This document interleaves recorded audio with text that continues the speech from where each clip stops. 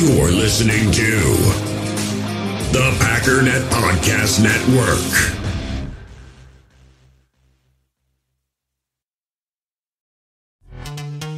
This episode is brought to you by Pepsi Wild Cherry. Pepsi Wild Cherry is bursting with delicious cherry flavor and a sweet, crisp taste that gives you more to go wild for. Getting wild may look different these days, but whether it's opting for a solo Friday binge watch or a big night out, everyone can indulge in their wild side with Pepsi Wild Cherry. Also available in Zero Sugar. So grab a Pepsi Wild Cherry and get wild.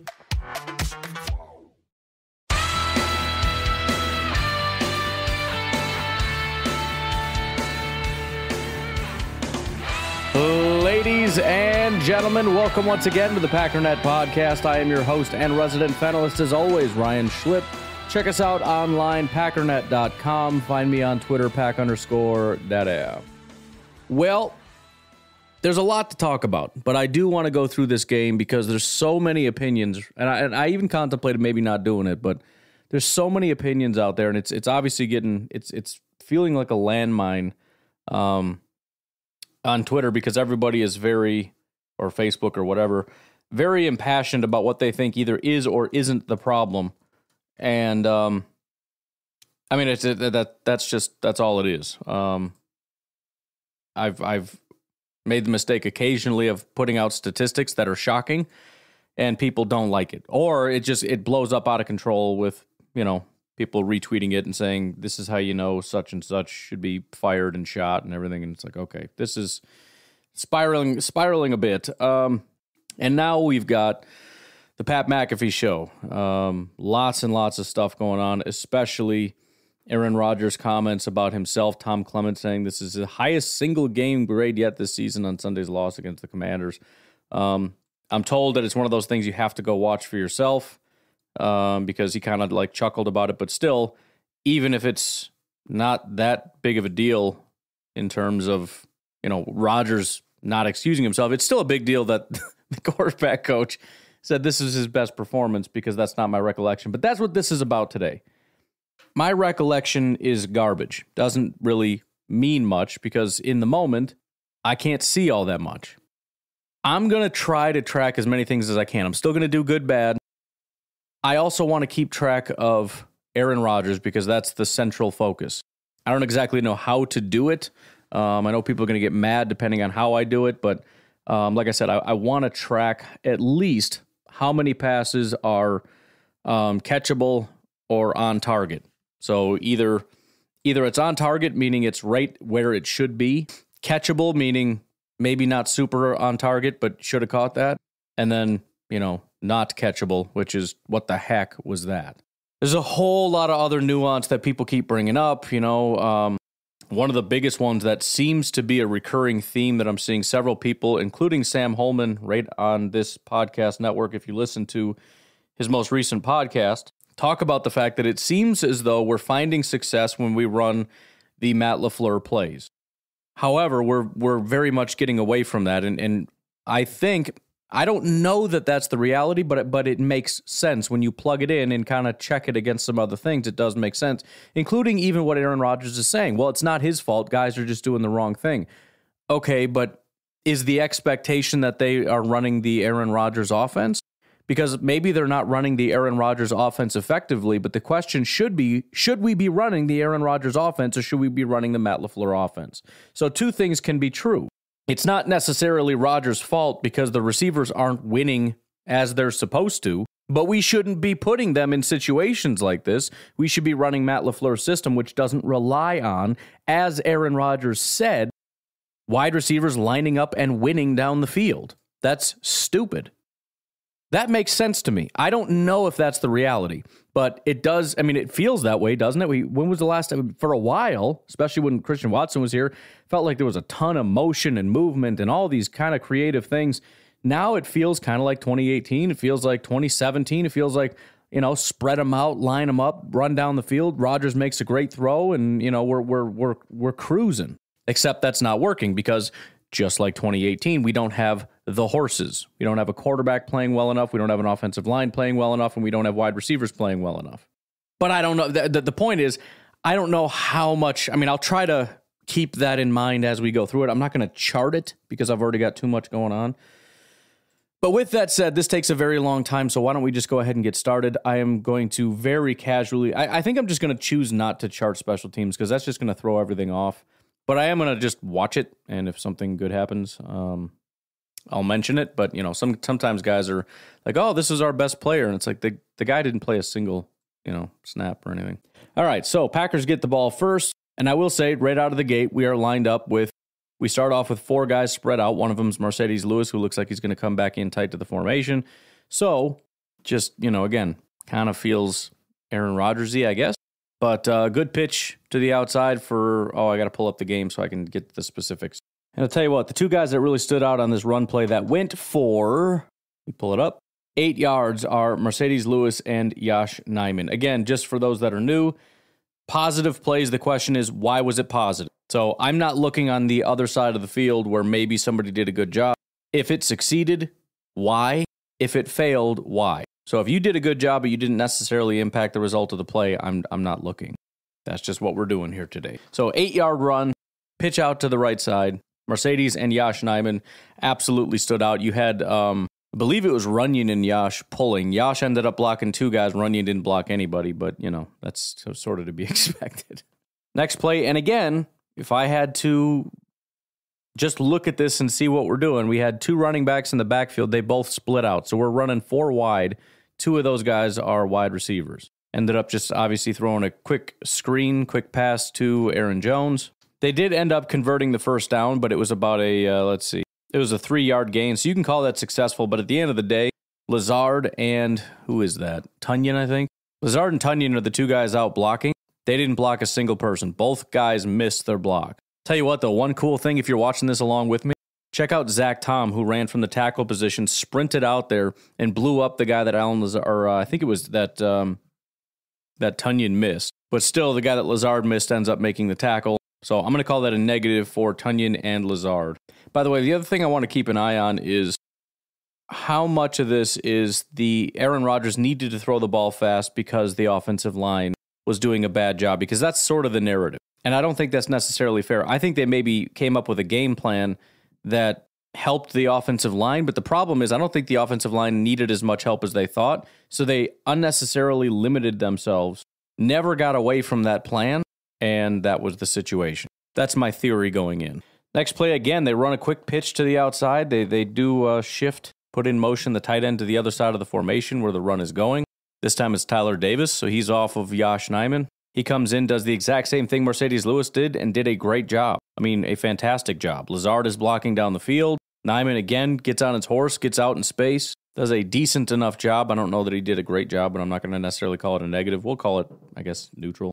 But some really good blocking, just just getting out and getting in front of everybody. Again, I think if Yosh maybe does a little bit better job on his block and getting to that linebacker, kind of seeing him a little earlier and not get him around him, Maybe Aaron Jones slips behind Lazard and gets a few more yards, but um, Tyler Davis and Lazard for sure at least deserve a lot of credit for this.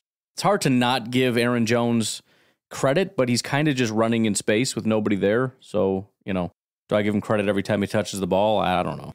Again, we line up. Um, we've actually got Lazard and Marcedes Lewis in tight. Got our two or maybe three, I can't see from this angle, wide receivers and just run the ball. I tell you what, John Runyan does a phenomenal job blocking on this play. Usually, if it's a negative, I don't hand out positives, but I'm going to in this case. He absolutely crucified a guy, and he does what we just never are able to seem to do, and that is get up to the next level. Unfortunately, Myers doesn't necessarily do a great job, and the biggest problem is Yosh Nijman. He goes over to try to help Marcedes Lewis, gets a little too invested in that, and not so much the linebacker. Linebacker comes up, pops, and um, there's really nowhere for him to for Jones to cut back because the guy that Myers was blocking wasn't really well blocked.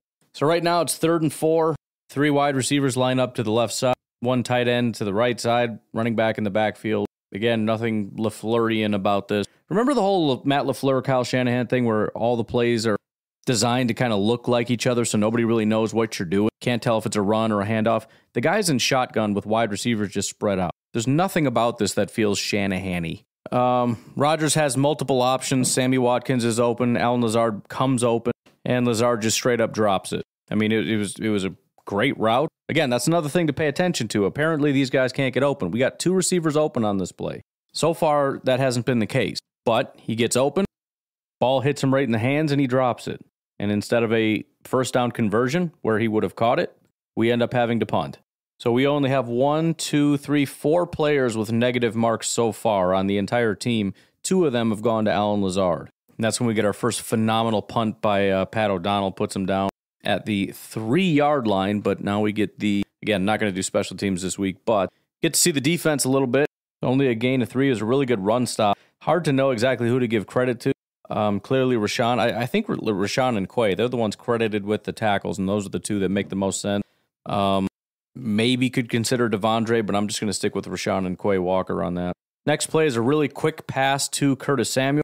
Really, really heads up play by Quay, or by uh, Rasul Douglas. Almost ends up, well, almost a pick six, first of all, but then almost a disaster because he tries to jump it instead of making a tackle. But he's playing off in the slot. Samuel runs just a quick out, trying to get out in space, and Rasul just beelines right for him. Immediately reads the route, nearly jumps it, Great recognition. He would have got docked for it if he ended up just missing the tackle and it was a big play, but he got a hold of him just enough to make the tackle. So great play by Rasul Douglas on that one. And the next play, they're taking a shot to uh, Terry McLaurin. And I think about four guys can get credit on this one. Again, another one that could have been picked off. Uh, Jaire and Rasul kind of run into each other, so it doesn't end up getting picked off. But you've also got Rashan Gary and De'Vondre Campbell blitzing the quarterback and getting pressure, so that Tyler Heinicke, Taylor Heinicke, has to throw off his back foot. So I'm going to give all four Rasul, Jaire, Rashan, and De'Vondre credit for that.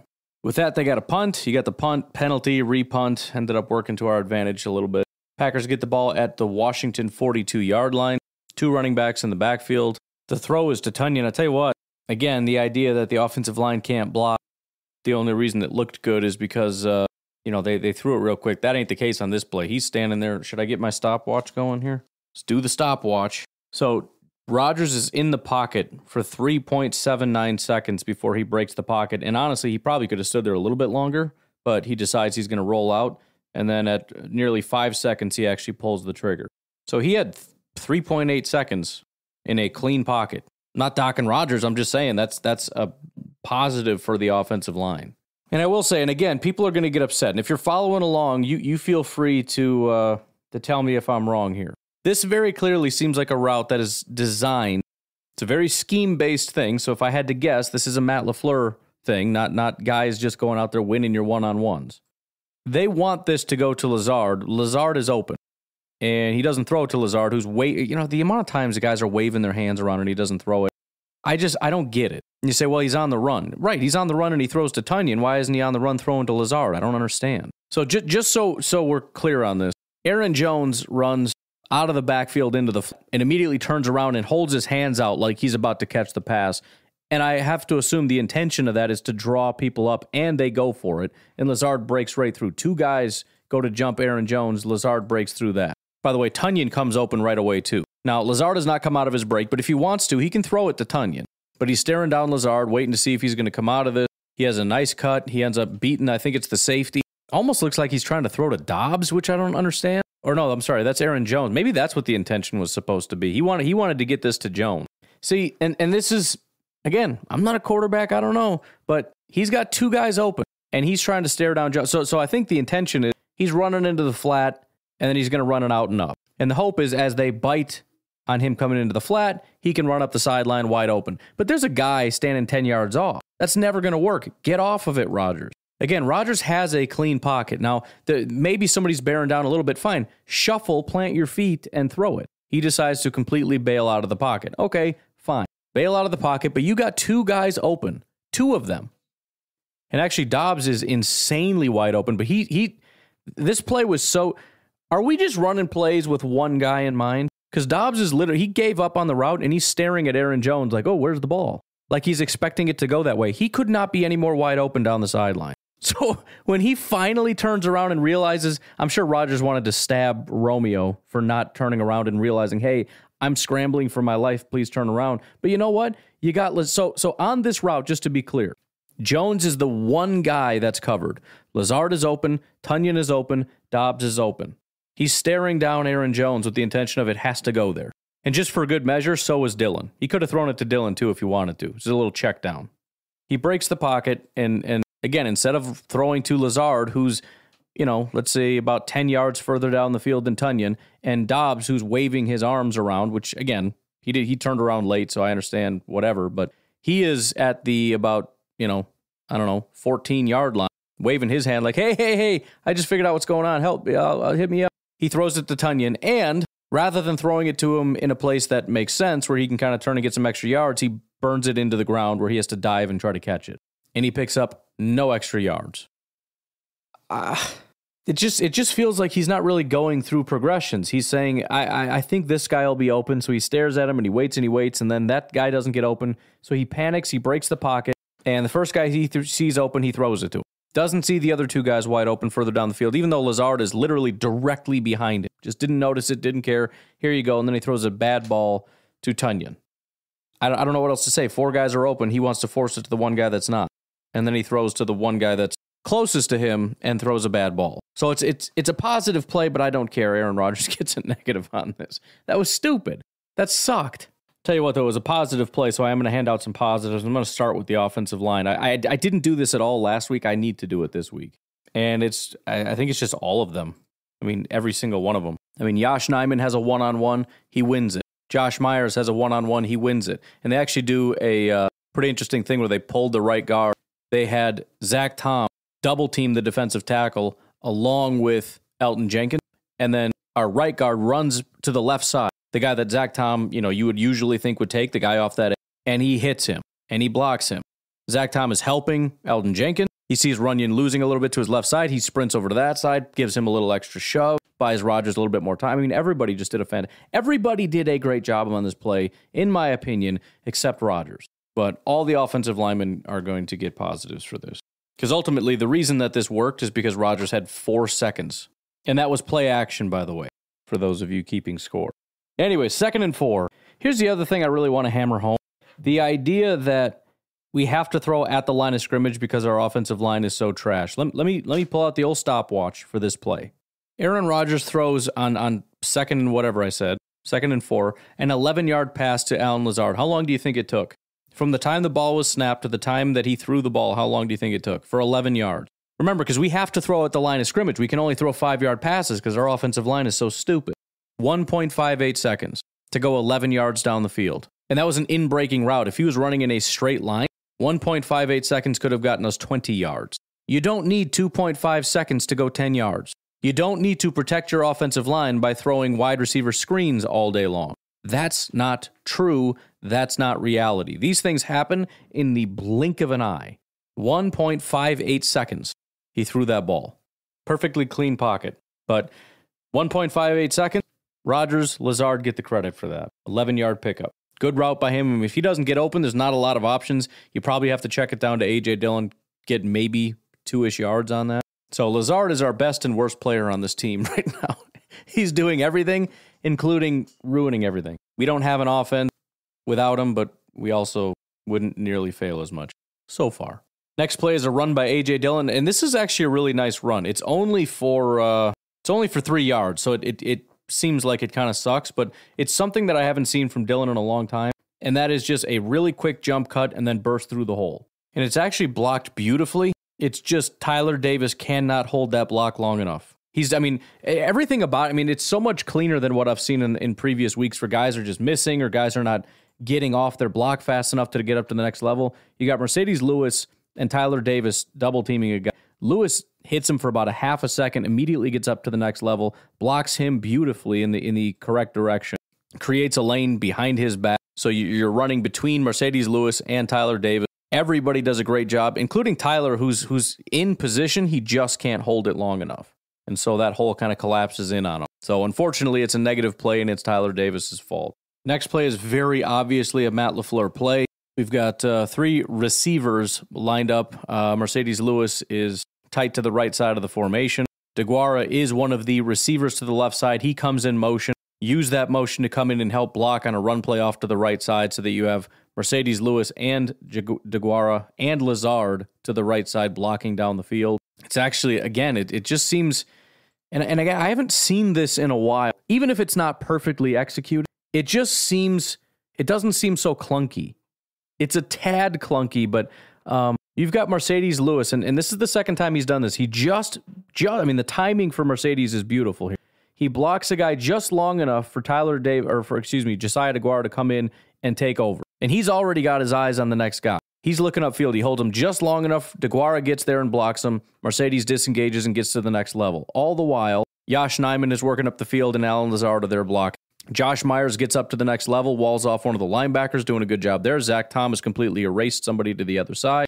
Elgton Jenkins seems to be struggling a little bit. We'll see what happens. I got it freeze framed here. That guy face planted. So uh, Elgton was in bad position, but he fell on his face. Yosh does a pretty good job getting up there, but I think he kind of blocked him in the wrong direction, kind of creates a little pile over where Aaron Jones is trying to run. DeGuara eventually loses that block, so you've got too many people out in front of Jones. Jones trying to cut back, but there's a guy that that DeGuara let go, kind of coming for him. You know, I mean, you can only hold the blocks for so long. People are starting to lose their blocks now. Lazard is carrying his guy all the way down the field. Aaron Jones absolutely is getting credit for this, the patience and the burst and everything else. The guy that came off of DeGuara and got, caught him from behind, he breaks that tackle, gets up to the next level, spin moves for a couple more yards. So Jones 100,000% made this a successful run. In all honesty, the, the, the blocking is kind of, I know it sounds weird to say ugly when I just said it looked good. I, I just I just mean the timing and everything kind of seems like it's in rhythm. It's a complete mess when they actually get down there. But you know, it just it it looks like they're kind of know what they're doing, which is nice. But I, I think I'm just going to give this to Jones. I got to at least put Lazard in there. He freaking erased that guy. I don't know. It's hard not to to add in all the contributors. All right, I'm going to put in Lazard, uh, DeGuara, and Marcedes because he doesn't even get the edge without those two guys. All right, first and 10 from the Washington 15. Real quick out by uh, Allen Lazard. Romeo Doubs does a great job coming in and block. So Rodgers, Lazard, Doubs getting credit on that one. But that is a big 12 yard pickup on uh, first and 10 from the 15. Next play is a one yard loss. Seems to be, you know, I think you can pretty clearly put that on Marcedes Lewis. I don't know that this is going for a ton of yards, um, but Lewis just got beat immediately. That guy gets into the backfield and takes down Jones. So Marcedes Lewis getting a negative on that. And then the final play, a touchdown, is again 100 million percent. This is a Matt LaFleur play. It's one of those. It's similar to uh, the you know if, if you watch the chalk talk segments that Clayton does. I did one with him uh, last time we scored a touchdown. There was so much going on on that play. Where the one that Marcedes Lewis caught, it was basically like a double fake. This isn't quite like that, but you got um, Lazard and Doubs to the left side, uh, Josiah DeGuara and Marcedes Lewis to the right side. DeGuara goes in motion from right to left. Rodgers does a great job selling. Anybody reading his eyes is saying this is not a handoff. But again, you want their eyes to go in one. these are magic tricks, right? It's it's supposed to be sort of play act. So the first fake is the is the the handoff, but they're looking at it going, yeah, right. We see DeGuara running out there, and you even see Doubs kind of starting to block down the field. So it's very obvious to anyone looking this is going to be a pass to Josiah DeGuara in the flat with Romeo Doubs blocking. Timing is perfect. Josiah turns around. Literally, the linebacker is staring out in that direction, staring. As he gets pulled a little bit too far that way, Zach Tom is just keying in on him like a heat seeking missile, and he walls him off. It's done. It's game over. He cannot get back to where they're going. Where are they trying to go? They're actually running an inside screen to Aaron Jones. Elgton Jenkins has already got a guy blocked. Zach Thomas got a guy walled off. Josh Myers is running down the field to try to get somebody that's over there, but nobody's even looking in that direction. Zach Tom does kind of miss the block a little bit, but it doesn't matter. There's so much wide open space that he gets in. This is again, I, I I can't necessarily disagree so far with Sam Holman's assessment. I'm not saying it's 100% in terms of Aaron Rodgers stuff never works and Matt LaFleur stuff never misses, but it, it just it does feel night and day. It seems like they're in sync and it's in rhythm and everything just everything just works. And and you again, you don't need superstar. On on that play that I was complaining about that was a, a bad pass to uh, Tonyan that was in the dirt when he had Lazard and Doubs wide open because he's staring down Aaron Jones. I mean, that's sort of a LaFleur play where we got Allen Lazard running wide open, Doubs is wide open, Tonyan's wide open. Is it because they're these elite psychotic athletes that just breaking ankles out there? No, they're running open in space because it was the right call offensively against the right call defensively. It's schematic. It's not line up, run down the field, and win your route, and I'm going to throw a perfect pass. This is this is a magic trick. We tricked them. Same thing we did last week with Marcedes Lewis. That was not going out and winning your route. That was trickery. We fooled them. We got them looking the wrong direction, and we got a touchdown out of it. So, I mean, there's a lot to to hand out here. Rodgers for sure. He didn't do much as far as the pass, but the the selling it was beautiful. the fact that his eyes are already keyed in on DeGuara when he's going to hand off the ball, so that every defender looking at Rodgers is going, You dummy, I can see exactly what you're doing. Your eyes are already looking down the field. Well, they pulled it back the other way. Uh, Aaron Jones did a good job. I think you can give DeGuara credit for his. I mean, the, the timing was so pretty the way that DeGuara turns to catch the ball right as Rodgers kind of cocks his arm. And although the blocking wasn't perfect, Elgton Jenkins 100% gets credit. I mean, he had a guy locked up. Aaron Jones ran within inches of this guy and he couldn't make a tackle. Elgton Jenkins had him completely locked up. And then Josh Myers and Zach Tom, not the prettiest blocks in the world, but enough to get in the way so that Jones can just sneak into the end zone. So, so all of them are going to get credit for that. Anyways, kickoff, we allow him to get back to the 30 because obviously, again, I'm not really docking anybody. It's kind of hard to tell exactly who's supposed to be when and where. I don't really understand how f- that all works. But if, if I had to dock somebody, it'd probably be Dallin Leavitt. His feet got away from him. He might even got tripped up. I'm not sure. But he ended up falling, doing a somersault, and then uh, getting up and still making a tackle, which is great. But again, it was at the 30 yard line. Anyways, defense is on the field. Pretty good field position for Washington. Fantastic coverage uh, down the field. Pressure gets there, but unfortunately, there's an open lane for the quarterback to run through. He takes off and runs. De'Vondre minimizes some of that damage, comes up and stops him after five yards. Feels like he got 40 yards on that run. It's hard to know exactly who to blame, but I, I think it would have to be on Jarran Reed. On one hand, you want guys to be aggressive, but you know Rashan is trying to get around the outside. Reed decides he's going to try to loop around to the inside, and then on top of that, 77, their offensive guard, takes Reed and carries him so far to the inside that it leaves this giant gap there. So I mean, technically it's Rashan and Reed, but I I I, I would have to assume that's that's Reed's fault for leaving that giant of an open space right where he was standing. I hate to dock aggression because usually I'll, I'll, I'll take those, but it just because it's so obvious, I'm just going to go ahead and, and do it. Second and five, uh, Washington runs to the right side, picks up two yards. Packers defense, just in general, doing a good job. Dean Lowry probably the number one to to focus on here. Not only did he hold his guy off, but he he actually pushed him a little bit into the backfield. Rashan uh, Rashan did a pretty good job holding the edge. They're trying to run to the inside of Dean and Rashan. But Kenny is also there, just really clogging it up. And then you got Darnell Savage doing a great job of, of again, what I had mentioned last week about, you know, I don't know where the linebackers are, but I'm seeing safeties, Savage and, and, uh, and Amos coming up and filling those holes. They actually tried to create a lane between Lowry and Rashan, and they had somebody coming through that hole to try to lead block. And Savage just kind of blew that. First of all, Rashan kind of grabbed him, was like, no, you're not doing that. De'Vondre's there. And Savage tries to squeeze in between everybody to, to blow that up. And ultimately, Rashan grabs the guy as he tries to run through him and drags him down. But that's that's great effort from at least uh, four guys: Rashan, Lowry, Kenny, and Savage. Next play is an incompletion. I'm just going to leave it alone. Um, I don't know that anybody gets a ton of credit. There really wasn't much pressure. The coverage seemed fine, but they're playing zone defense, and the ball uh, ultimately went to a guy that I don't think it should have gone to, and it was a bad decision, or excuse me, a bad throw. Um, and it was another Rasul Douglas dropped interception. I'm not going to dock him for that. Maybe I should. I don't know. But, you know, we'll, we'll call it a pass breakup, but not give him credit because he should have caught it. So we'll just leave that one alone in terms of blame or whatever. But that's what happened. It was a bad pass. Packers didn't do anything wrong that I can see. The one thing that I'm curious about, if you're following along, is there would have been a route developing deep right part of the field. I'm curious if Savage would have known enough to follow him up that way. At first, I thought he wasn't, and this was about to be blown, but he he turned and ran the other direction after the quarterback threw the ball. So I'm just curious what would have happened on that. Glad we didn't have to find out. But with that, two in a row now. Washington has to punt. Everything's going beautiful, right? Packers just got themselves a touchdown. Moving down the field, getting into rhythm. Things are looking pretty. Packers defense got off the field twice. Bang, bang, boom. Punt the ball. What happens? Amari lets it hit the dirt. Washington recovers. So now we get the uh, first and 10 from the Green Bay 17 yard line. I'll tell you what, man, I, I, I, I can't fully make up my mind on Darnell Savage. I know a lot of people, there's some people that think that he gets too much hate, and some, I think most people at this point have given up on him. I, I kind of like him when I watch. If nothing else, I really think he seems to have an understanding of things. Just on this play, for example, he creeps up near the line of scrimmage, basically comes inside the box. De'Vondre's pointing and looks over at him and kind of like shakes his head, like, yeah, exactly. In other words, he recognized what was going on just like De'Vondre did.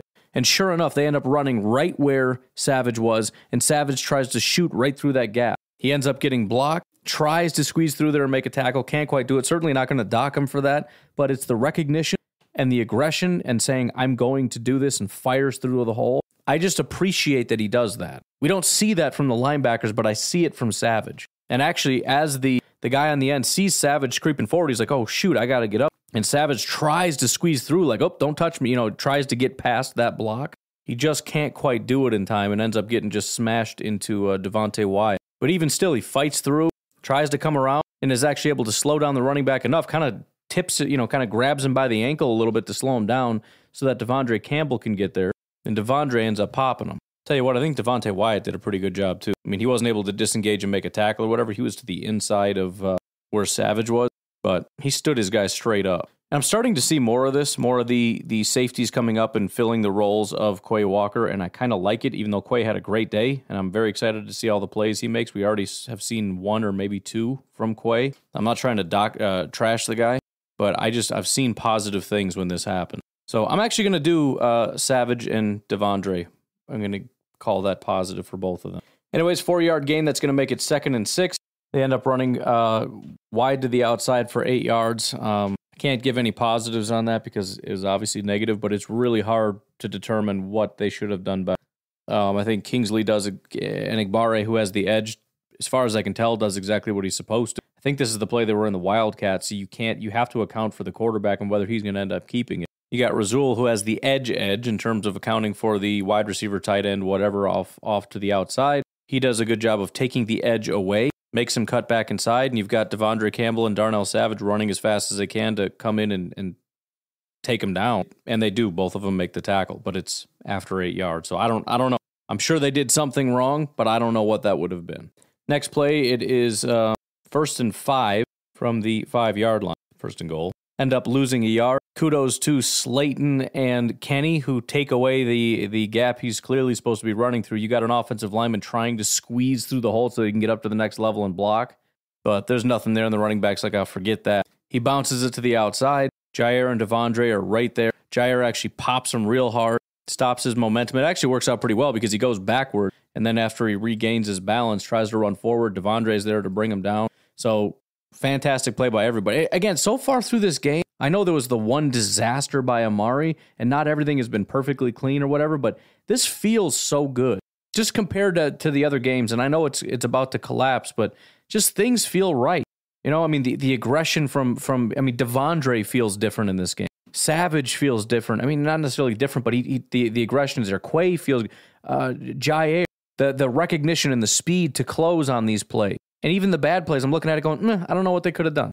You know, I mean, there's the Rodgers play where it's like, I wish you would have done something better, but whatever, it's a positive play. You know, uh, it's just things feel up to this point really good, like better than I've seen in the last several weeks that I've been watching, which is strangely encouraging because of how discouraging this game is. But it, it does feel like, in a way, they turned a corner. And I don't know if they just gave up or what exactly happened uh, to make it as, as big of a disaster as it was. I mean, if if the, if they could just consistently be this, this is such a good football team the scheme offensively and defensively, the the the play. I mean, the off, the offense is is different in terms of you know you need the scheme more, but these guys, man, the hustle and the speed and the strength and everything of this defense is is so imposing, and you can feel it, and it's stifling. Obviously, they end up. Uh, well, I guess it's maybe not obvious, but they they stop them. I mean, they end up getting a field goal out of this, but they started at the what 17 yard line. Don't get in. I I, I want to just stop right now and just be like, you know what, this is a good team. I'm not watching the rest of this game. This is a good team. We got a shot against Buffalo. You know, as long as there's no disasters that cause us to completely fall apart, I like this team. I do like this team. I like these collection of players. It, it freaking breaks my heart because it's just not working. But man, they're they're really when you watch it just work. I love it. When it all just comes together, you watch and just go, "Oh, that was pretty." You know, with the offense especially, it's like that that is so smooth when it's executed properly. The defense, it's a combination of like, oh, that was real nice, but mostly just dang. Look at the, I mean, Rasul Douglas jumping that route. I haven't seen a guy jump around. I mean, just instantly, as soon as he breaks, he knows exactly what it is. He takes the exact right angle. He gets his hands right on the ball. I mean, he's right there. Twice on that drive, Rasul dropped an interception. He's right there. And I really honestly just wonder if the if those little things went that direction. If it was a pick six instead of a play that ends up getting punted, that ends up getting dropped, that ends up getting recovered, that ends up turning into three more points. What does that do to the the momentum, to the drive? Because most people said that was the moment that this this game turned. I'm not even seeing that because I'm watching this team start at the 17, this defense, and shutting them down. We got a couple more plays, but I'm just saying, I'm I'm how are we a half hour into this? We got to speed up. No, we're pretty much on track. The first quarter is almost done. Anyways, last couple plays, let's rip through them. But um, Jaire, De'Vondre, Slaton, Kenny for that play, just blowing it. Up. And and again, the the quantity. How many plays now have I said that was like four guys? That was five guys that made that work. And it's all in sync. That touchdown pass, the synchronicity of the whole thing, the timing of everything. It just, mmm, it's so pretty. Next play is a run, goes for three yards. Antonio Gibson gets three yards on the play.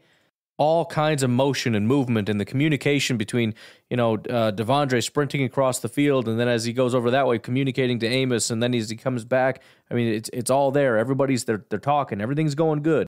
I love it that the communication is kind of just you know De'Vondre pointing and being like, you, you get it right, and they're like, yeah yeah, all right, just we're good. It's not like screaming and clapping like, hey dummy, you know what I mean?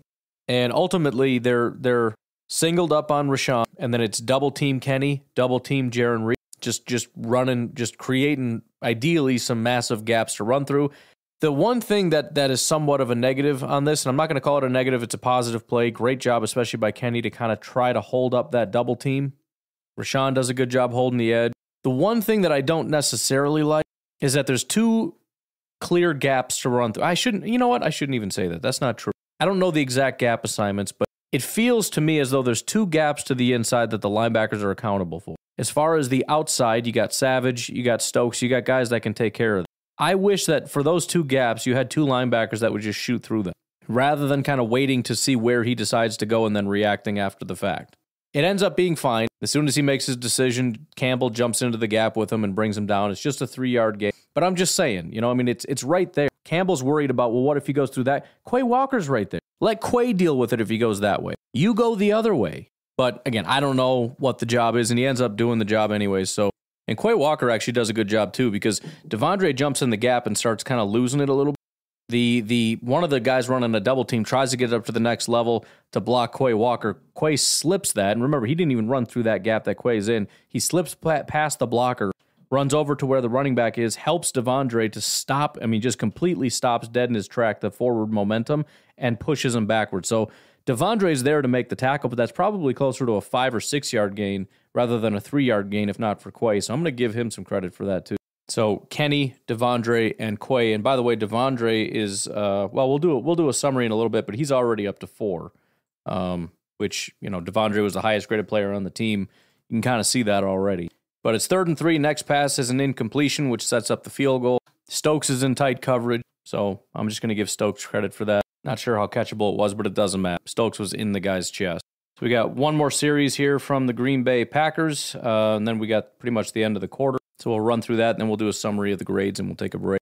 First play right out of the gate is probably the most controversial play that you'll find on social media. It, it's the play in which Romeo is running, we'll call it open down the field. Rodgers throws it way to the right, and the the conversation is: Did Romeo run the wrong route? Did Rodgers throw in the wrong direction? Whatever. Um, according to what I've seen, Matt LaFleur has come out and said that Romeo Doubs ran the correct route. I know Dusty Evely was on Twitter essentially trying to un- uh, help us to understand what that means. And what it sounds like it means is because of the pressure that was there, and no, it wasn't the offensive line. It, it's kind of it's kind of confusing. Essentially, it was supposed to be like a half a boot. In other words, like you, you kind of boot out a little bit and you set your feet and then you throw to Romeo Doubs. But Marcedes Lewis was kind of getting beat off the edge, so he has to kind of like boot around him and kind of go way out to that side. And as a result, he didn't want to throw all the way across his body to Romeo Doubs, was hoping that Romeo would recognize that and fly to the other side. He didn't, so Rodgers just threw it out to where he wanted him to be, but he wasn't. I, I, I don't understand a lot of that. First of all, I feel as though he could have thrown a, a completion to Doubs. Let, let's start with that. Now, I understand there's a, there's, I mean, if you grab a screen capture, it's going to look worse than it is. There is a guy screaming down the field as I said yesterday or whatever, he's he's got call it five yards. Ten, it's it's ten to fifteen yards of of distance. Now, if he continues on that trajectory, maybe it gets picked off. But if he throws it just kind of straight down the field and lets him run to go get it, I feel like that could be a completion. I don't ultimately understand throwing it to where you want him to be, other than that is your way of communicating, hey, you idiot, you're supposed to be over there. Here's the bigger issue, though Lazard is open. And I haven't seen anybody really talk about that, but Lazard is open. And again, Rodgers is just stuck on this is where I want to go. And so I get it. I want to go to Doubs. This is the right call. That's the right guy. He's going to be open. And so I look to him, but he's not running where I want him to run, even though he is running the right route. Okay, so let's let's just stop there, right? What is the, what what options do you have? You've got a little bit of time. There are some guys coming, but you got a little bit of time. You can throw it to a random part of the field, or you can drop your eyes and see if Lazard happens to be open where he is. I mean, again, you are a big brain quarterback. You've done this for 400 years. You know the route. You understand where everybody's supposed to be. You know that guys are closing in on you, so there's probably a good a good chance to throw to that guy over to the sideline who's 15 yards away from you, pretty much right in front of your face. Drop your eyes and see if he's open and throw him the pass. But instead, he says, screw this and just chucks it down the field. I, I don't get it. I, I just, I can't help but feel when I watch Rodgers like he panics a lot. He is constantly panicked. He doesn't feel comfortable. And you can try to blame the offensive line if you want, but it's not an offensive line issue. There's, I mean, he's standing in the middle of the field by himself. There's nobody there. And yeah, there, there was that pressure or whatever, but it basically it just meant that there was a guy standing where he wanted to run to, so he had to run a little bit further out.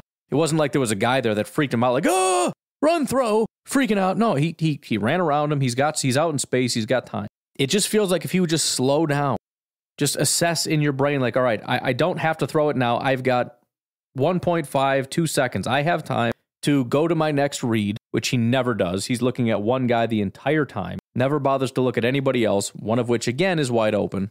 And by the way, and, and Lazard is at the 30 yard line so that would be a five yard completion, but there's a very good chance, based on where the defenders are, that that ends up going for about a first down. But he chucks it to a random part of the field, which doesn't make sense. Because you can still, I mean, you're throwing it away, right? That's what you're doing. Unless you actually think that Doubs is going to see this turn around and go grab it, which, I mean, if that was the case, throw it closer to where Doubs is, which is what I think you could have done and should have done. And then he could have gotten there and it could have been a reception. But that's, I don't know what you're doing.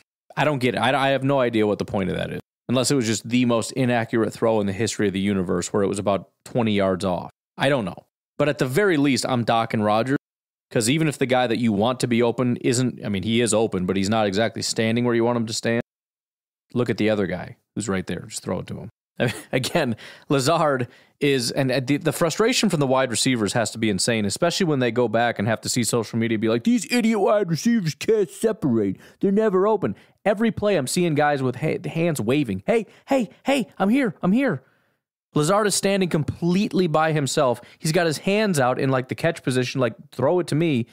The ball gets launched. He drops his hands, looks over that direction, and sees the ball go to where nobody is standing.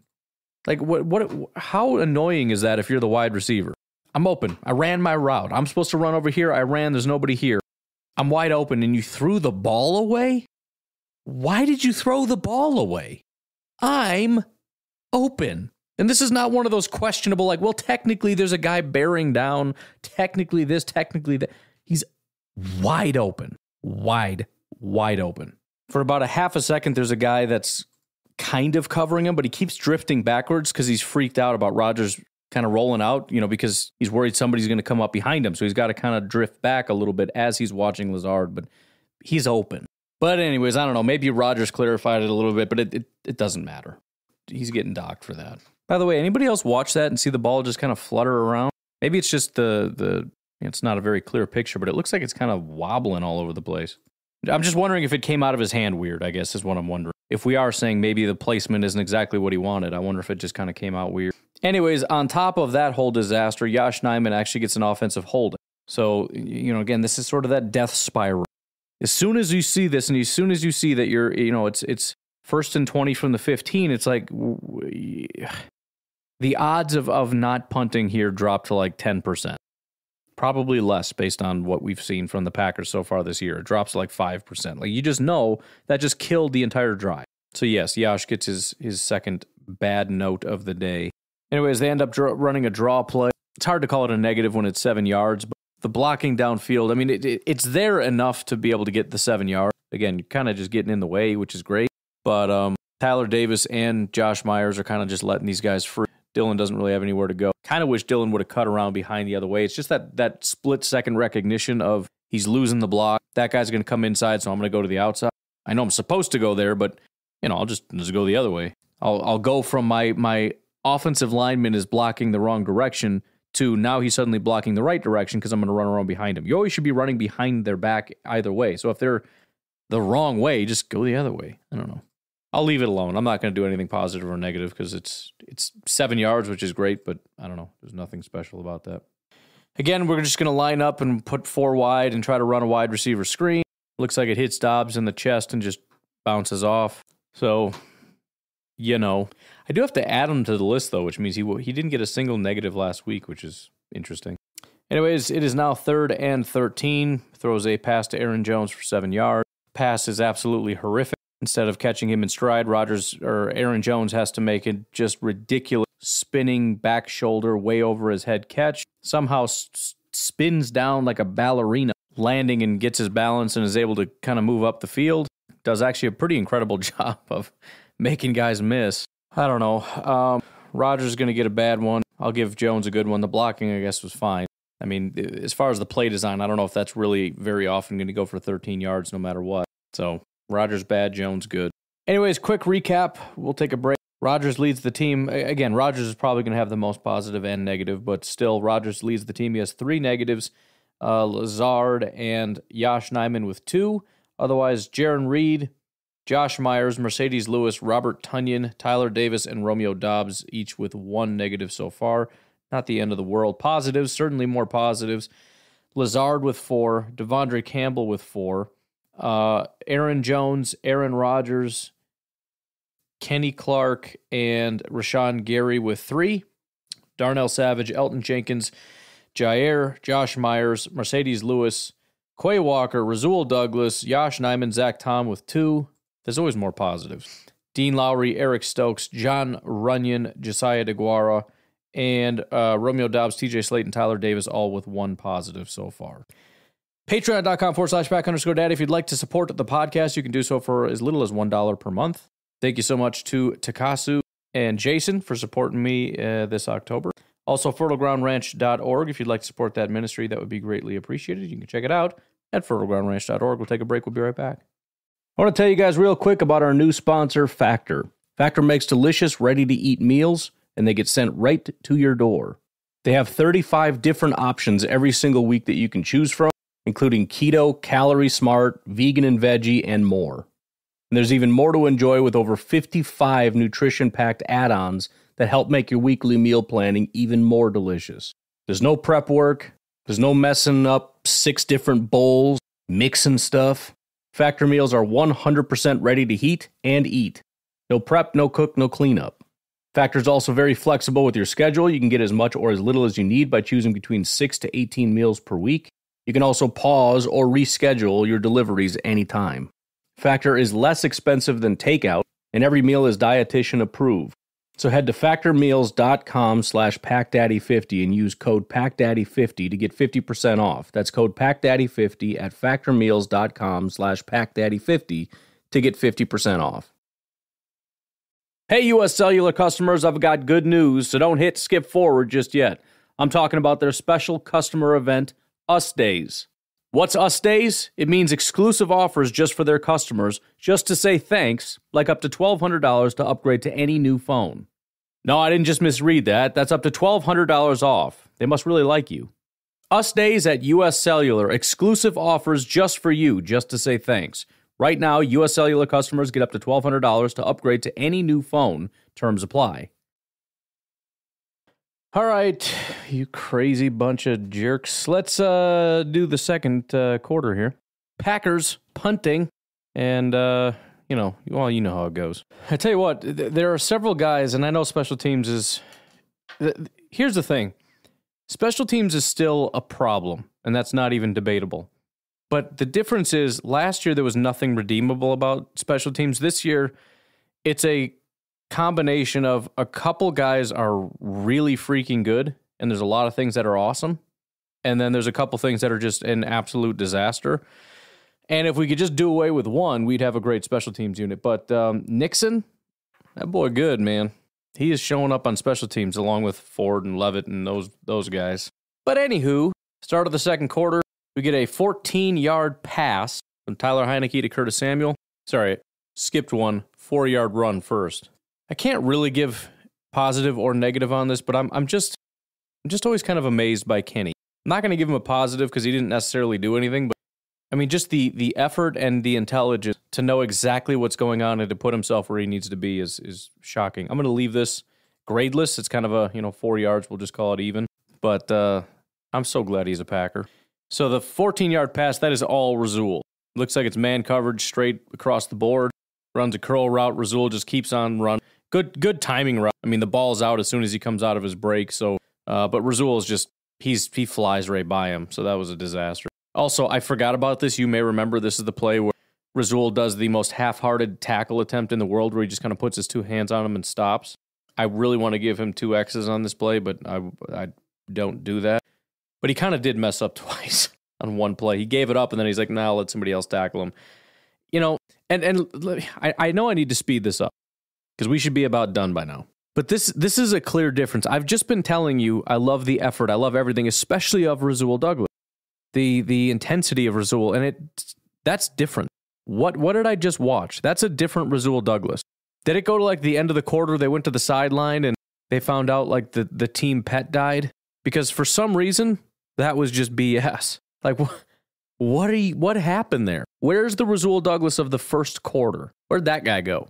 But first and 10, Quay Walker, this is one of the plays, probably one of the first plays that they've done this. Quay Walker, they're bringing around the edge which is awesome because they just they're not expecting it. Rashan Gary comes to the inside, which he usually doesn't do. He likes to either just bull rush directly into the quarterback or kind of get around to the outside. But the tackle, I mean, it works perfectly. The tackle, you know, goes with him.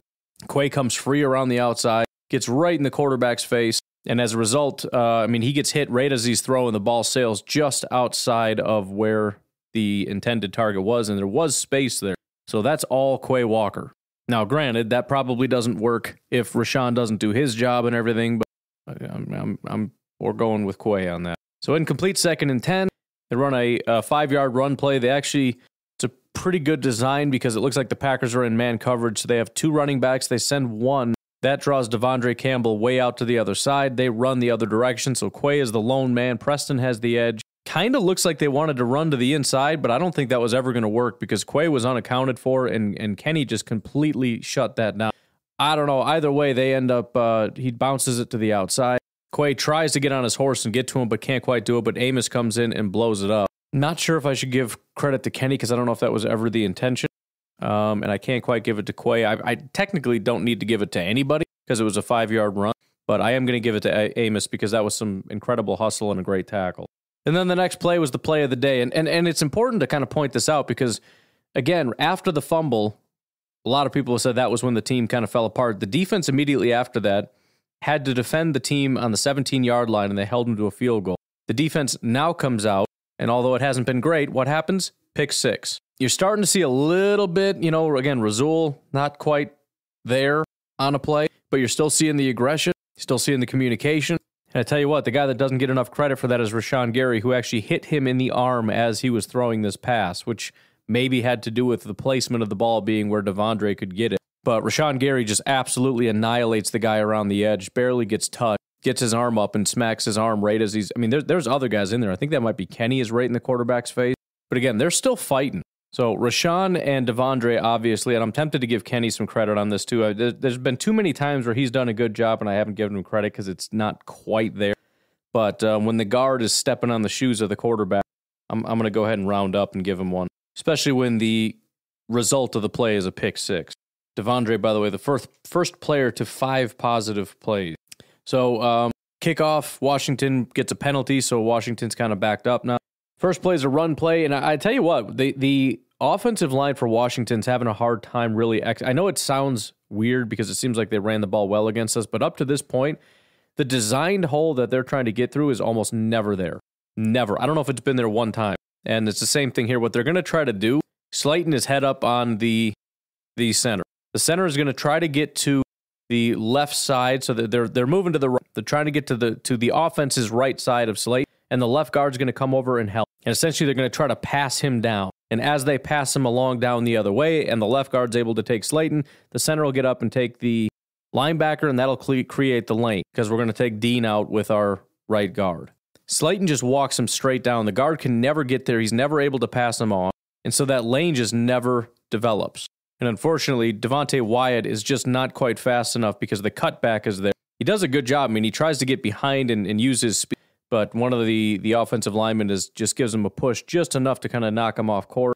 So there's enough room for him to uh, bounce it back outside, and there's a cutback lane there. But um, ended up just being a two yard run, and I'm giving the credit on that one to uh, Slaton, who's been showing up quite a bit, kind of flying under the radar, but I've seen him several times, especially in run defense, just dominate. Next play is a screen to the running back, ends up going for seven yards. I think that is the fault of Quay. Usually, especially since it's to his side, if there's a running back back there, he needs to be accountable for that guy. He kind of bites on the eye candy. Seems like he kind of forgets he's back there. And then after the play, Quay is pretty upset. You can tell. I mean, granted, anybody be upset about giving up a play, but I, I think that that was his fault. I will say, though, and this is uh, screen grabbable, the fact that Devonte Wyatt the defensive tackle caught him from behind is even more shocking than you would expect having watched it live on TV. Because not only did Wyatt go from the defensive line, and we're talking, he was at about the, let's call it the 13 yard line past the left hash or right hash, I guess. I don't know, opposite side of the play. The ball was caught at the 15 yard line, halfway between the hash marks and the left sideline. The fact that Wyatt could get there is so stupid and and just the hustle. I mean, it's one of those things too where it's like it's not worth it. I can't catch them. And that's true, but you know what happens sometimes? People get in the way. They start doing that little juking and jive and stuff where they're starting to like, you know, things happen. That's why you just you hustle in that direction. And a lot of times you'll get rewarded and he did. He came from the complete opposite side of the field. There were 7 out of 11 Packers were closer than Devonte Wyatt and Wyatt hustled down there and he lit him up. He killed that guy. So I'm going to say that's a negative for Quay, and I'm giving Devonte Wyatt credit for that because that is insane hustle. And you want to talk about guys that have heart and passion and are fighting to the end? That's insane that he's the guy that made that play. I kept watching the wrong guy because I'm I, I, assumed it was the guy that was on that side of the field. I'm like, where, where did that other guy come from? I don't understand. why it was the right defensive tackle toward the side of the play, but he ends up looping around to the other side. He's so far away, it's ridiculous. But alas, it's third and one. They end up getting a four yard run here. And honestly, if I got to put it on somebody, it might even be Kenny, which feels weird to say. It's kind of it's kind of ridiculous that I this is how how you know grades. Not that I'm necessarily grading, but this is how grades can end up being biased. Where if it's anybody else, it's a real easy like, oh yeah, that's for sure his fault. But because it's Kenny, it's like, eh, maybe you're supposed to lose a couple yards there. I don't know. Probably probably not Kenny's fault. But he he did lose a little bit of ground. He lost a little bit of uh, a few yards. The running back ran right behind I mean, it, it wasn't terrible, but it was enough. He needed one yard. He snuck through for four. Wasn't the biggest mistake in the world, but alas, Kenny was the one. And it was a one on one, which is rare. I mean, he, he very rarely gives up yardage. You know, he, he doesn't move on a double team. One on one, it's pretty rare to see somebody push him back a couple yards. And what's actually shocking, Kenny had the most positives on the, I think, on the entire team, or aside from Rodgers last year.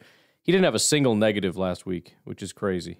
Next play, again, we get, you know, I, I was getting on Rasul, like, where is that guy? Exact same thing. He re, He's way off, you know, on purpose. That's the design. He's, he's 10 yards off the guy, and he reads the play. He jumps the route. I mean, it sounds like they're really trying to do that. They're playing him off, and he's reading it, and he's waiting, just baiting him into it, and he just misses it again. He jumps the route, gets his hand on the ball, and cannot bring it in. I'll give him credit for the pass breakup. But again, I mean, these things end up being critical as I'm watching it, not realizing we're going to lose the game, I'm like, hey, it's still a pass breakup. A pick would have been nice, but I mean, you're always happy with a pass breakup. But you look at it now, especially since this ends in a touchdown, and you say you needed that to be a pick. It has to be. These are these are small things. So I'm I'm going to call that a positive because he did break up the pass. But you can see where those things do make a big difference. Next play is a 20 yard run around the outside. This is where Rashan starts losing the edge like constantly.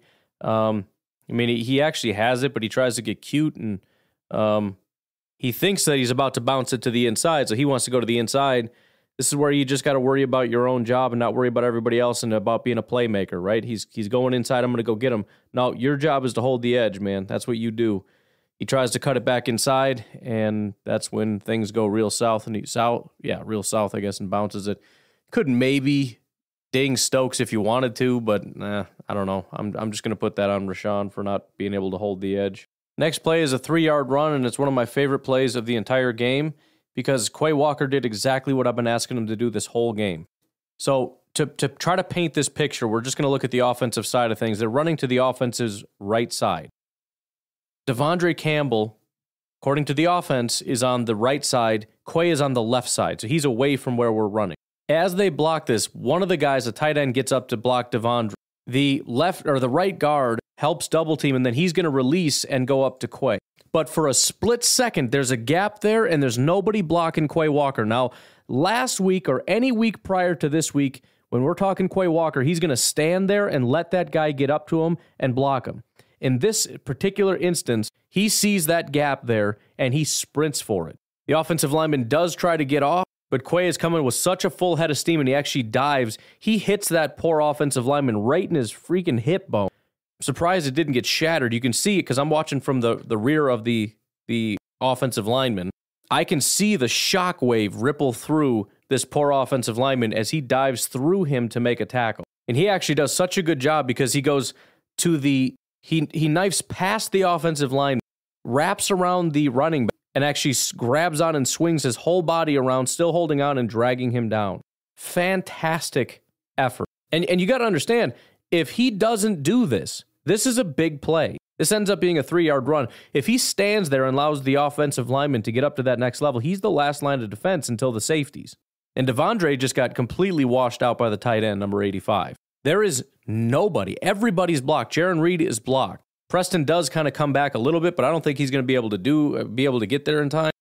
This this is a really really really big play if Quay isn't fast, decisive, and aggressive and shoots through that gap and says, "You know what? If he bounces and goes somewhere else, that's somebody else's job. This is my job. This is my assignment. I'm going through that hole and I'm going to hit him." And he does. And again, instead of it being a, a, a 10, 15 yard run, it's 3. Love this play so much. Thank you, thank you, thank you, Quay Walker. And again, this is an encouraging game. Just in terms of things that I haven't seen, I'm seeing. I've never seen Rasul do what he's doing. I've never seen Quay do what he's doing. The offensive line I've never seen do what it's doing.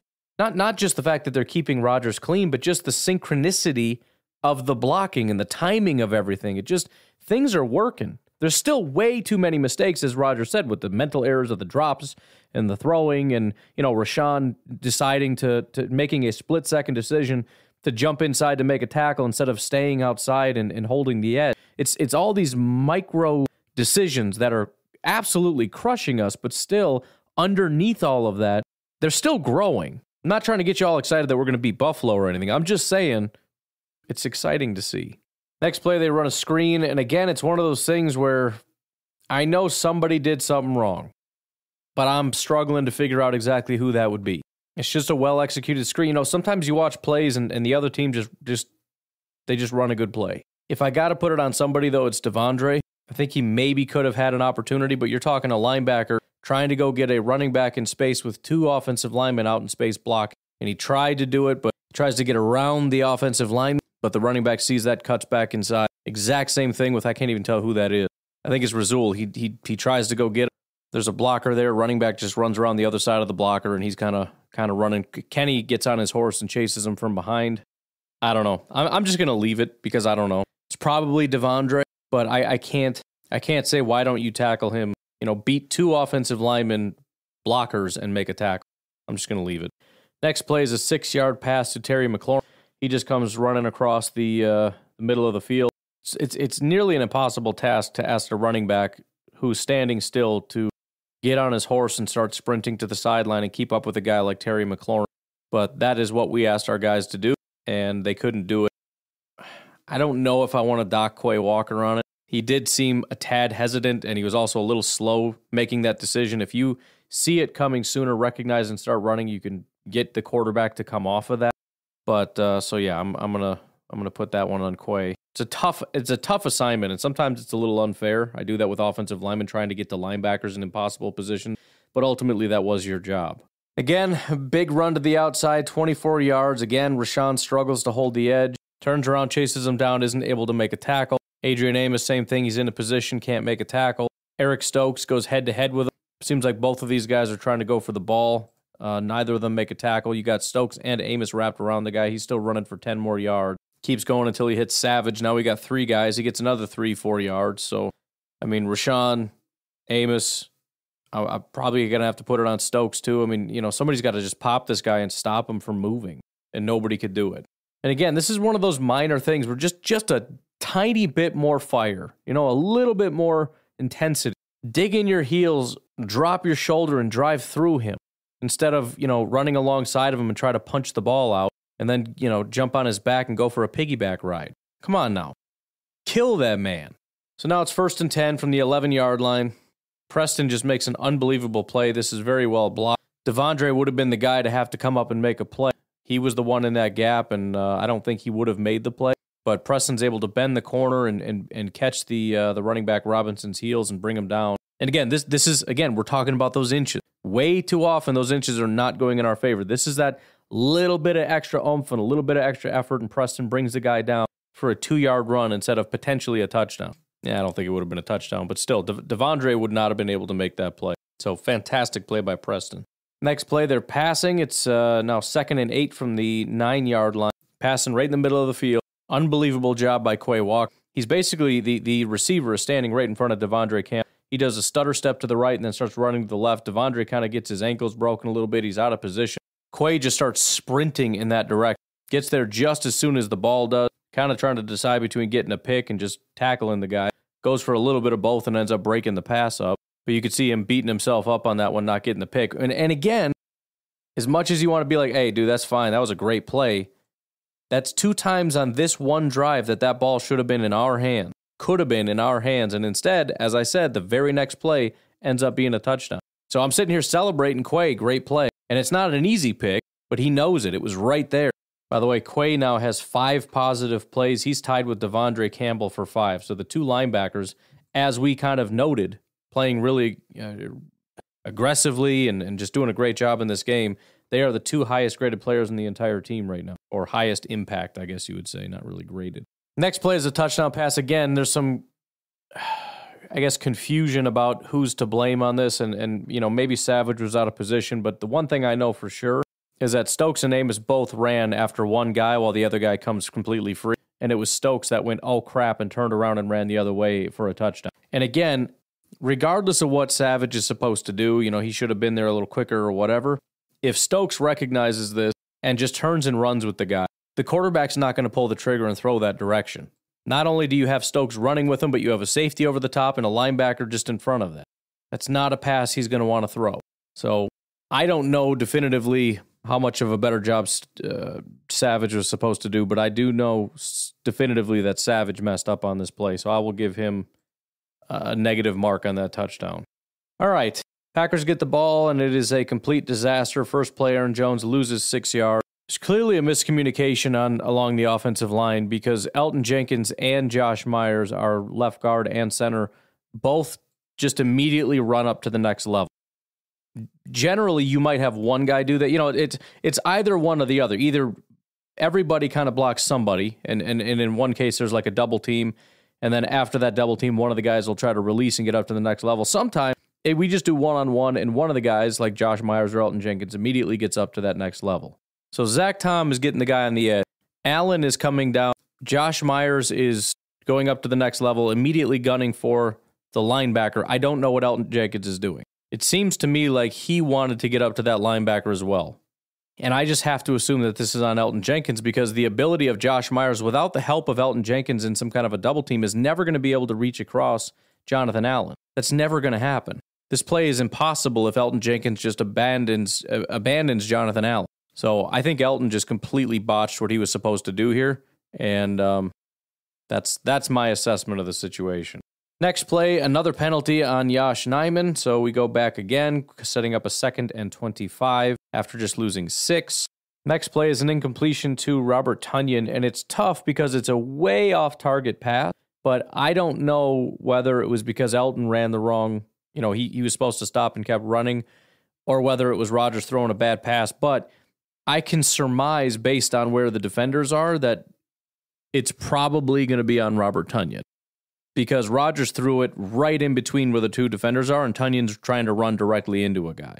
So I think Tonyan kept running when he should have stopped. So I'm going to say that that was on Tonyan. Whereas again, having watched that live, I would have said, Rodgers, what the heck are you doing, stupid? So that sets up third and 25, and we get another incomplete pass, this time intended for Aaron Jones. This pass is just swung out into the flat, and Jones just flat out drops it. Probably not the most accurate pass in the world, but it's certainly, I mean, it's not it's not as bad as the last time Aaron Rodgers or Aaron, yeah, Aaron Rodgers threw to Aaron Jones, where it's like sailing way over his head. This one just kind of was like a rocket ball at his eyes. You know, it's a weird spot to throw the ball, but that's, I mean, 100% you got to catch that. So that's a negative for Aaron Jones. And I have to make a new category because uh, I don't have any negatives for Aaron Jones. And and again, I'm not, I don't want to make excuses for the defense because they just gave up a long, you know, get get yourself off the field to be the first thing that you can do.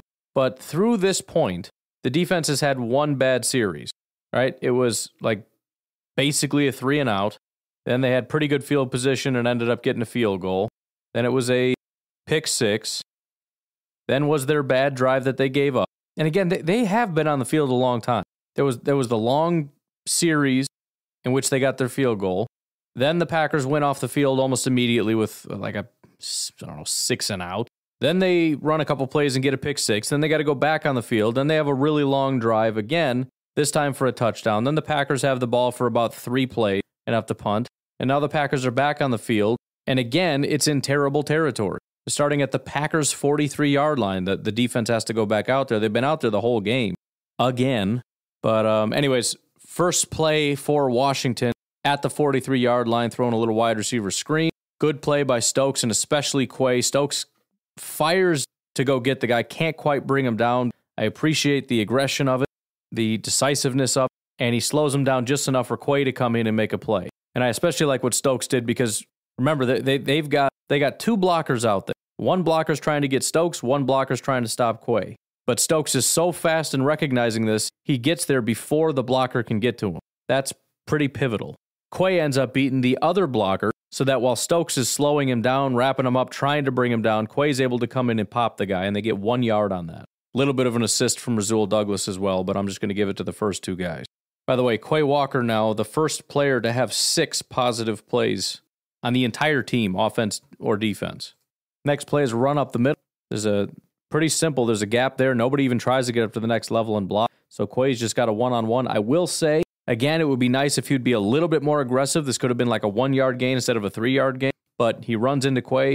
Quay brings him down, three yard gain. I'll take that. And yes, I'm going to call that a positive play for Quay Walker again.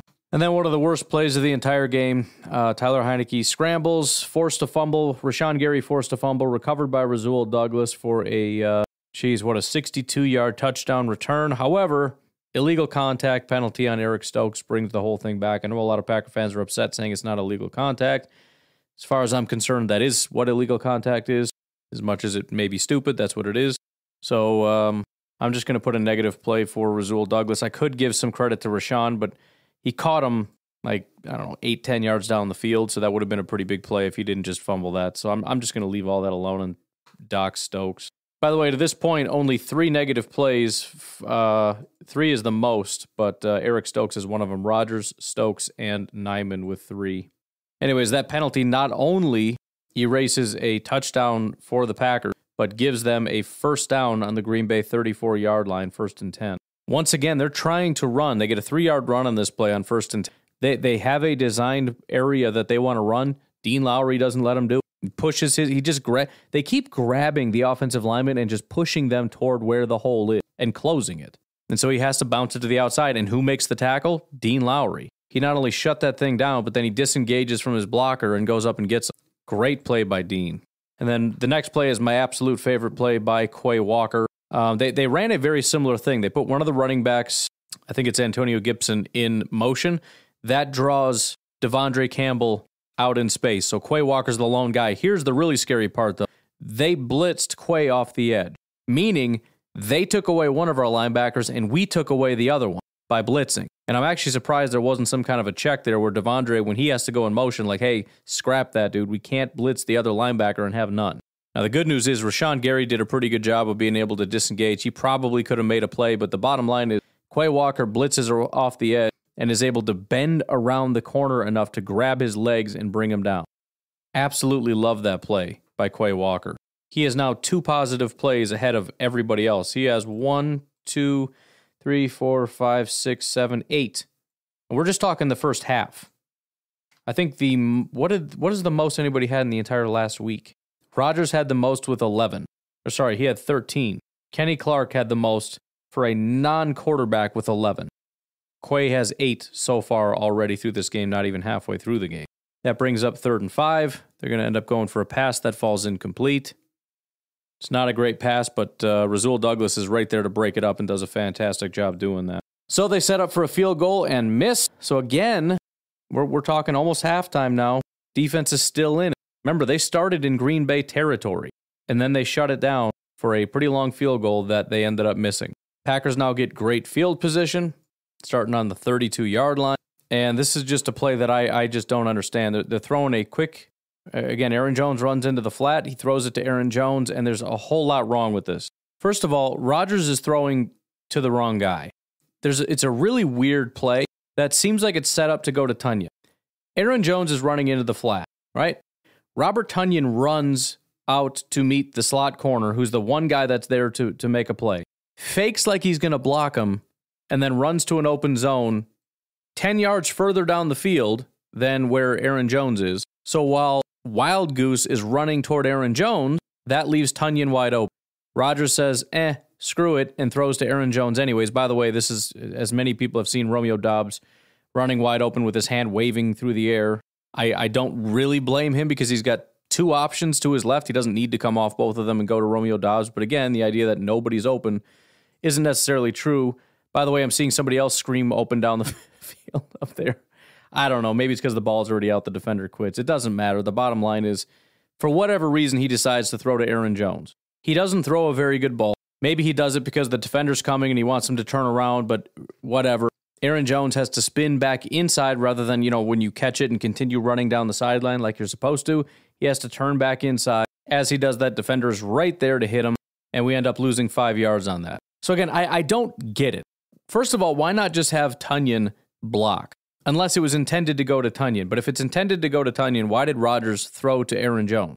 It's it's like it's a trick play intended to trick them and bait them into going to for Aaron Jones so that you can throw it to Tonyan and then you throw it to Aaron Jones, the guy that you baited them into going to get. I, I don't understand. I can't help but to dock Rodgers for that. Even if the whole Tonyan thing is incorrect, which I don't think it is, it's still a bad ball. I think it's a bad decision and a bad ball. But again, for the I don't know how many times in a row now, um, it's a negative play for the offense, and we're from we're playing from behind the sticks again. Second and 16. Last time the Packers were on the field, they had a, a first and 20 because of the Yosh Nijman penalty. Actually, no, hold on. I skipped one. This time they're they're starting at second and 15. The time before that, they had a second and 16, which turned into a second and 25. The time before that, there was a penalty that, that put them in first and 20. That's three drives in a row. They've gone backwards. Three in a row. And, and again, at this point, you're dead in the water. You're just dead. And I think that was Davis, not Wild Goose. I was looking at the wrong one before. That was Wild Goose, I think. Oh, boy. So, next play. I've got three problems with this play. Well, four problems with this play. Several people running routes, as you can imagine. You've got um, Watkins and Doubs running deep down the field on either side of the field. Lazard is coming across the middle of the field, sort of deep, uh, intermediate middle.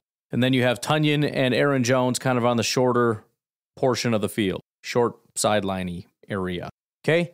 First issue Doubs is open. He doesn't throw to him. Deep down the field, open.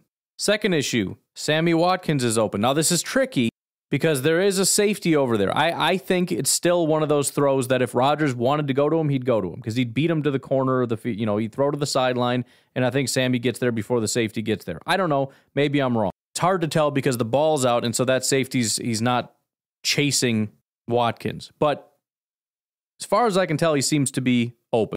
Third issue Lazard is not open. There's actually five issues. Fourth issue, he decides to throw to Lazard, who is not open. Fifth issue, it's a badly thrown ball. So this is where a lot of people look at it and say, these guys can't get open. No, it's not these guys. It's Allen Lazard on this one play. And the reason it looks like nobody's open is because Rodgers isn't throwing to the open guys. Without question, Romeo Doubs is open. He is sprinting beyond the 50 yard line.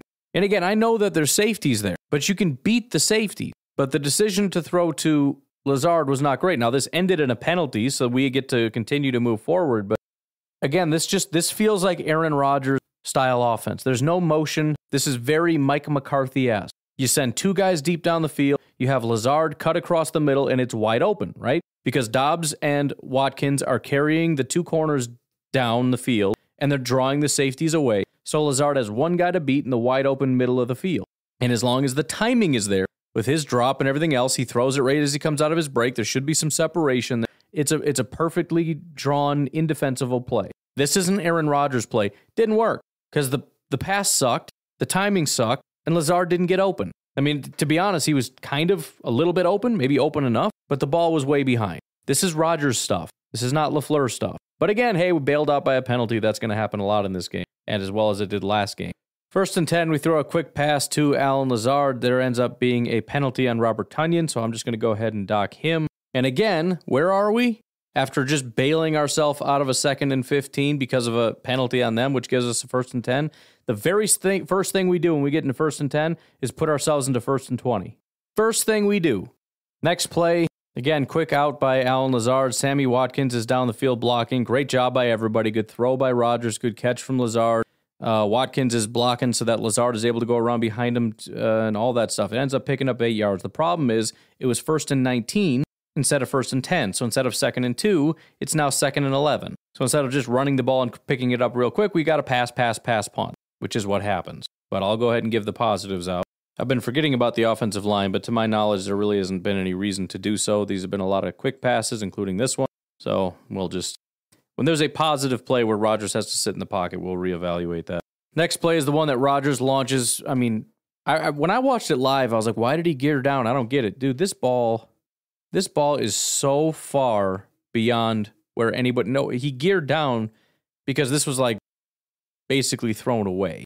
This is 100% a terrible pass from Aaron Rodgers. You want to know something interesting too? Rodgers threw this ball from the, let's see, 31 two yard, 32 yard line. It landed at roughly the 15 yard line. So 32, Green Bay 32, Washington 15. He passed this ball 53 yards down the field. Let's just say, and I know he dropped back and all that stuff. So I, well, I'll figure out where the line of scrimmage is in a second. But this is 53 air yards. Let's just say we had a wide receiver that was faster, like uh, Christian Watson, and he was able to actually get all the way down the field. 53 air yards. You know how long it took him? again, you, you, you need all this time to be able to, you know, the, the quick passing, you can only throw five yard passes. 53 yards. You know how long he held the ball? 2.24 seconds. 2.24 seconds, he threw the ball 53 yards. You don't need three seconds for deep passing. 53 yards, it took him less than two and a half seconds from the time the ball was snapped to the time he threw the ball. Now, you probably can't do that if you're trying to get sub two seconds because you really don't trust the offensive line. You want to get it out in two instead of two and a half. That's fine. But what, what are we talking about then? 40 yard passes? You certainly can throw 20. 20 is considered a deep pass. You can throw 20 yard passes, no problem, in two seconds. So I'm just just throwing that out there. But yeah, that was a terrible throw from Rodgers. And yes, Sammy did have him beat. So again, the whole, well, we need better wide receivers. Why? So that they can beat their guy on the outside. We have that guy. He just did it. Rodgers missed him. You want to bring somebody else in so Rodgers can miss him or what? How many different guys need to come in here so that they can run fast down the field, get open, and Rodgers either doesn't throw it or misses them? Again, how many plays have you heard me say, I don't know, Rodgers had nowhere to go with the ball? I'm pretty sure today it's been zero. I've said it, but it's rare. Maybe maybe like two times last week and zero this week. By the way, this whole series has been Aaron Rodgers plays, not Matt LaFleur plays. We've got three wide receivers lined up, one tight end, one running back, and I think he had probably two better options than the guy he threw to. But again, he knows who he's going to before this even begins. He he looks at a guy, says he's got one on one matchup, and he expects him to win, and he kind of just doesn't. Romeo Doubs again running the same garbage little in, in, dig, drag, whatever just run in toward the middle of the field and, and you're supposed to get some separation, and he just doesn't. But I'm going to force it in there anyways, and he doesn't throw a perfectly good ball. I mean, considering how tight the coverage is, it needs to be just where his outstretched hands can reach. It's not. He throws it kind of low and into his gut. and the defender's able to come in and punch the ball out. And everybody's looking at that going, oh, another drop. That ain't a drop, dude. I mean, if you're going to call that a drop, I don't know, man. That's a bad throw with the defender right there. And again, I don't I don't really understand the point of this if if he's really just, you know, the, what happened to route progressions? What happened to like I'm going to start here and then go here and then go here? He's not doing that. He just this is where I'm going and that's it. He's playing this game all based on trust, trust in himself and his receivers, but he's playing like he's got three, four Davantes out there. This isn't Davante Adams. I mean, it's shocking to me because we had all said coming into this that this is actually going to be better because Rodgers isn't going to have Davante to be a crutch. So he's not going to be able to just force the ball to Davante all the time. Well, we were wrong. Kind of. He can't force the ball to Davante, but he's still going to pretend everybody out there is Davante. No question. If this is Davante, it's probably it's probably a, a completion, right? The routes run a little better. There's certainly going to be more separation, and he'll catch the pass and he'll be off to the races, right? It's going to be great. He's done this so many times with Davante Adams and Jordy Nelson and Randall Cobb and all his favorite receivers over the years that in his mind, like this is automatic based on their defense, based on our, on the guys we got. This is where we're going. You don't have to do that. He's not open, so you got to go somewhere else. Again, it's hard to tell exactly who's open because once the ball comes out, people start doing weird stuff. But Samori Toure seemed to have his guy beat. He's running an out route, assuming he catches it. You know, it's probably a first down. You know, I I know I'm nitpicking and it's unfair. Like, why did you look there when you should have looked here? Like he has some telepathy or something. But it just I don't understand the offense. You know, everything's spread out and you're only looking in one area. You you might as well just have one wide receiver on these routes and everybody else is just drawing people away. And if that one guy doesn't win, then the whole thing falls apart and we wonder why it's not working. This this Aaron Rodgers, Mike McCarthy, whatever offense, as much as Rodgers says it's the most beautiful offense in the world, that's great. I'm glad that it's beautiful. But what I'm watching is ugly. this is so far from beautiful. And it's just exhausting because it feels like 28 like we saw this in 2018 it's the same thing. You spread the guys out and they run their route and they don't get open and it's like what the heck? We brought in Matt LaFleur. Right? This brilliant like unstoppable thing where you put defenses in positions where they can't it doesn't matter how much talent you have or we have like you just you're not making good decisions we put you in impossible positions and it works when we run it. And we just completely abandon it on the last several drives. It's like when we get behind, you know, when we go from first to 10 and first to 20, first and 10 to first and 20, we go into full on Aaron Rodgers drop back, spread them out mode. And I don't know why, because it doesn't work. It sucks. Like, didn't didn't we abandon that because Mike McCarthy ran that in 2018 and, and defenses figured that out back then? We're done with this, Rodgers. I'm sorry. We need to move on. It doesn't work. You know, somebody had posted a clip. I know we got to move on. We're almost done anyway. Um, in our Discord chat with uh, Aaron Nagler talking a little bit about this, saying, you know, if we're going to continue to play the way Rodgers wants to play, we need to go out and get better wide receivers, and that's true. But here's the thing we don't need to go get wide receivers because we shouldn't be playing this style of football. This is stupid and it's not even you know his conclusion was you know if you're if you're going to play this style of offense that relies so heavily on wide receivers, what we should do is play reliant on our running backs, and there's some truth to that. But I just want to rely on Matt LaFleur and his offensive scheme, which is going to allow us to first of all utilize our running backs more. We're also going to be using more play action, more motion, and we're also going to be getting wide receivers open more often and giving Rodgers easier throws to open wide receivers you know, we, we run these sort of layered concepts where you don't have to know where to, your eyes either go left, middle, or right. Everybody's kind of just in a line. You got one guy in front of you shallow, one guy in front of you kind of intermediate, and one guy in front of you deep. One of them should be open, throw to that guy. You know, it's all that kind of stuff to simplify everything. You don't want to simplify. This is what's simplified. And I think Rodgers is, you know, he wants to run his, he's made all these stupid comments about how you know the the the Shanahan offense is great, but there's nothing more beautiful than mine. He talks about the wide receivers. How he, of course, he wants to go out and get better wide receivers. Why? Because he wants to play it his way. He wants to play this BS that doesn't work. And instead of acknowledging my way doesn't work, he's looking at these wide receivers going, why can't you just do it? It's very similar to Joe Barry saying, I don't need to change. You just need to execute. Rodgers is saying, we don't need to change the plays. You need to execute them better. No, dude, stop doing this. You're making it too hard on yourself and too easy for the other defense. For what? Stop it. Anyways, we end up punting. They get the ball. We get one more little uh, slight series here. And does the defense give up? No. They go three and out. To end the half. Again, they're running, and Washington's kind of weird in terms of being the first team I've seen that doesn't do a, a good job of, or, or even try to stop the, the linebackers at all. And so there are these wide open gaps. And again, Quay does make the tackle. I'm tempted to not give him any credit though, because he does kind of do that. I'm just going to stand here and wait for you to get here. And it turns into a four yard run instead of like a one or two yard run.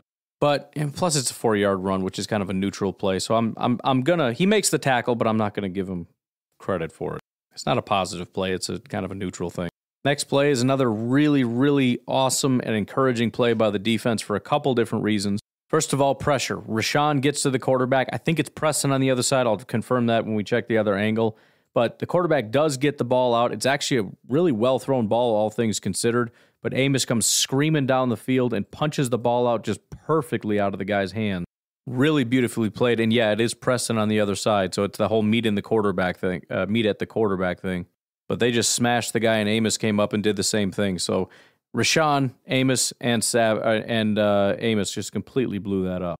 Next play, they try to run a little screen. Devondre Campbell does a beautiful job, kind of similar to the last time they ran a screen, but this time Devondre is able to navigate the traffic and bring the guy down. You can kind of tell the whole team is sniffing it out. You know, they they, they they're pointing, they're they're chirping at each other, and right away they're they're, they're looking at the quarterback, seeing what he's trying to do they're not staring at the guy, you know, the corners are, are staring at the quarterback, not the guys that they're supposed to be, you know, guarding down the field. They kind of know what's coming. So it's just really well played.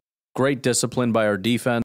And again, as soon as that ball comes out, Devondre is just sprinting. Rasul's trying to get through his blocker. Savage is running. Stokes is running. And again, he tries to do that thing where he runs behind his his uh, offensive linemen who aren't there yet, trying to block Devondre. But Devondre just gets there a little too quick and brings him down. It ends up being a uh, Four yard loss. There's a penalty offensive pass interference. Obviously, we decline that. Fourth and 10, they punt the ball.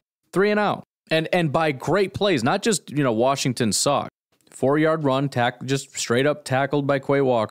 Next play, you got two pass rushers getting to the quarterback and Amos making just an incredible pass breakup. And then the next play, Devondre just doing superhuman stuff. If he's, I mean, again, we're talking inches, inches. If Amos is just an inch off, if he's a if he's a half a step slow, that's a big completion down the sideline. If Devondre is a half a step, a half a step slower, he doesn't get there. And now there's plenty of blockers, and this is getting, you know, it's a first down for sure. I don't know exactly how much more beyond that, but it's certainly a first down. It's so cliche to keep talking about a game of inches, but you can't watch these games and not see that. The difference between our team being a, our, our defense being a really good defense and a really bad defense is always, always, always inches. The offense, maybe not as much. The offense you're watching going, what the heck was that? That was 20 feet off. Defense is always inches. The dropped interceptions, inches. Devondre's pick six, inches. You know, where, where the ball is located and him being there just in time, being able to win and wrestle it away, inches. Anyways, that's it. That's the end. I mean, there is one play before uh, halftime, but I don't really care. AJ Dillon runs for five yards, et cetera, et cetera. Nobody cares. I guess we could look at it, but I don't feel like it. This is a very long episode. This is an hour and a half. This is my long. I think this is my longest ever. We're we're cru- cruising to like sixteen hundred episodes. This is officially my longest ever.